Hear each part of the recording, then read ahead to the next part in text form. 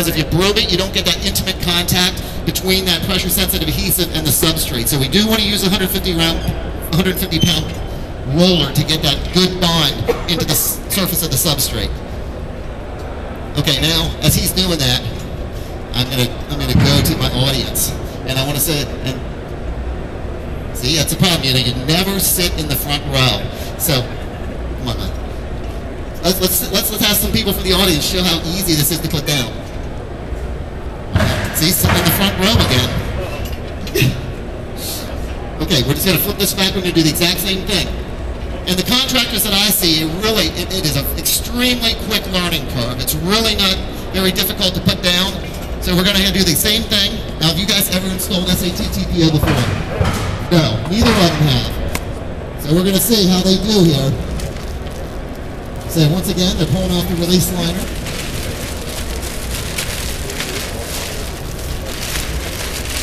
See, these guys are real roofers though, so they know what they're doing. Yeah, okay, now let's say no, no, no, um, that's all right. Don't worry about it, Mike. Look at that. Once again, no problem at all. So that's how easy it is. So anyway, this this product is going to be available um, April 1st through Carlisle, through your friendly Carlisle rep. So look for it um, being released. Okay, I'm gonna. Like I said, I, got, I, I love talking about that. I got so much stuff to talk, and, and I don't want to go over my time. So the next thing I'm going to talk about a little bit is Rhinobond. And I, you know, I walk around the show a little bit, and I see Rhinobond like everywhere. I mean, it's just everywhere. Um, but what I'm going to talk about today is some different ways that you might be able to use the Rhinobond technology in conjunction maybe with standard mechanically fastened systems to improve your production on more standard type projects. Go ahead, Tony.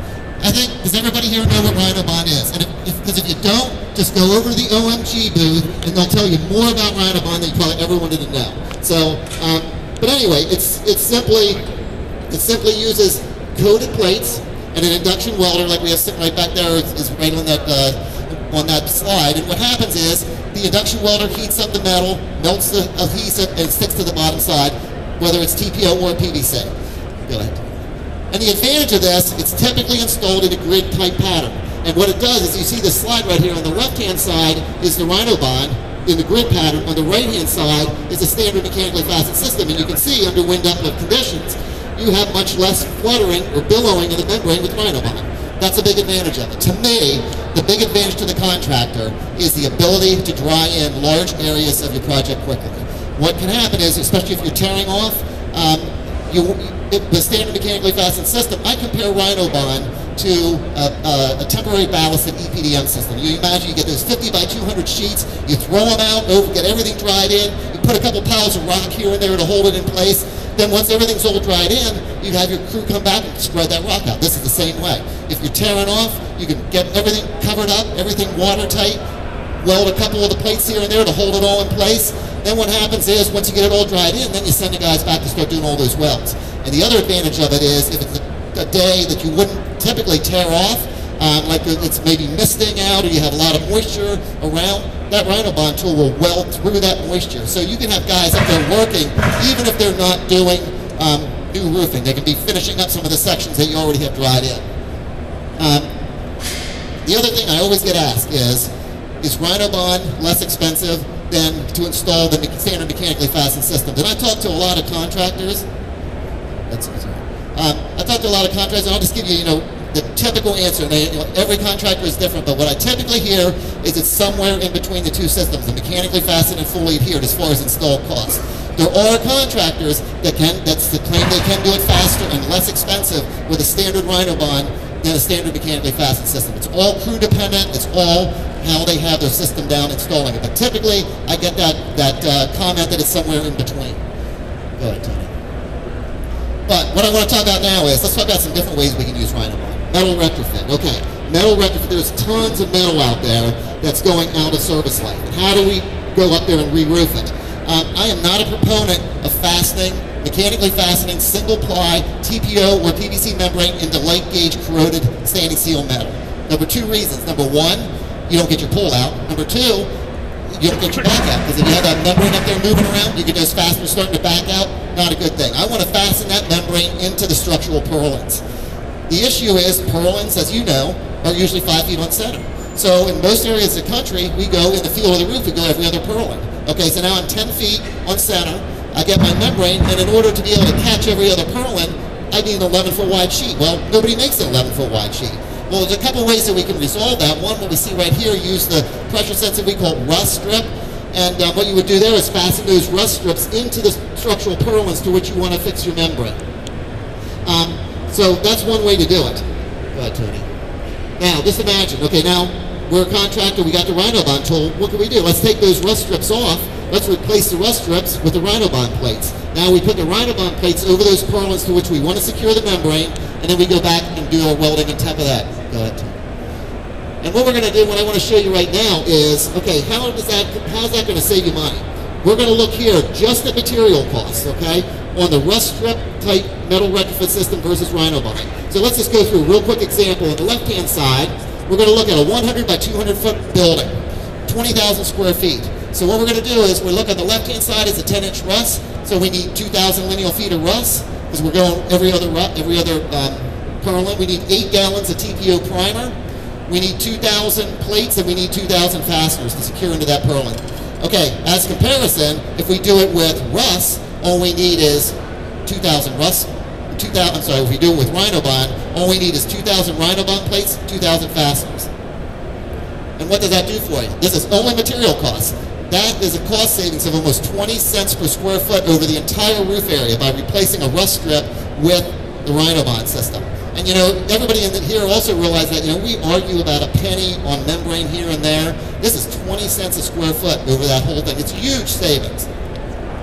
Okay, a couple other cool things that you can do.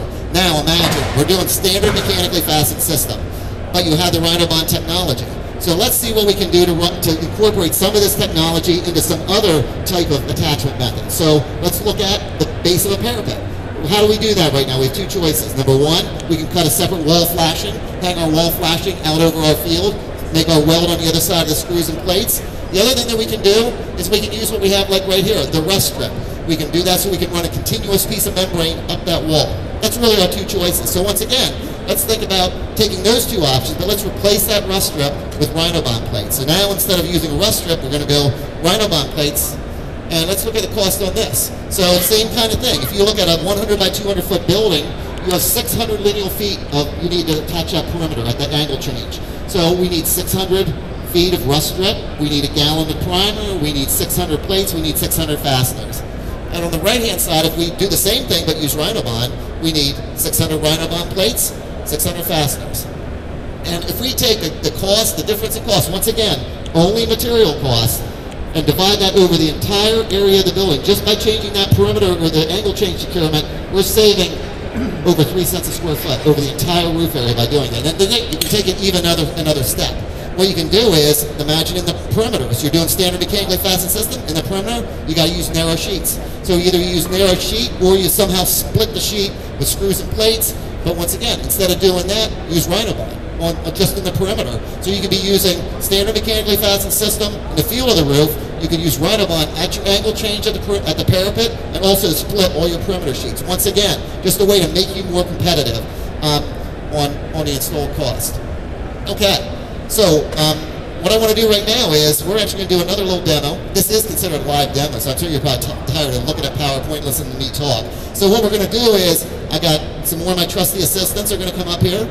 We got we got John and John. Okay. Um, what these guys are going to do is they're actually going to we're actually going to install 10 feet of perimeter secured TPO membrane. And on the left hand side, um, what can I call you, John? John. Okay, I, I won't. Okay. He's going to actually install this, this uh, particular flashing with the standard RUSS type detail. On the right hand side, we're going to use Rhinobond. So it'll kind of give you an idea. Not only do we have big, big um, material savings, um, we're also going to have big labor savings. So I'm going to get out of the way right now, and I'm going to let them go ahead and just do this 10 foot side by side. We're kind of a little race here, okay? We'll see who can do who can do the, um, the area the area quick. Okay, you guys can go whenever you're ready. Okay, so like I said, on the right hand side here, John is just going to tack his membrane up the parapet wall. Hopefully, it won't hit his face. Oh right now.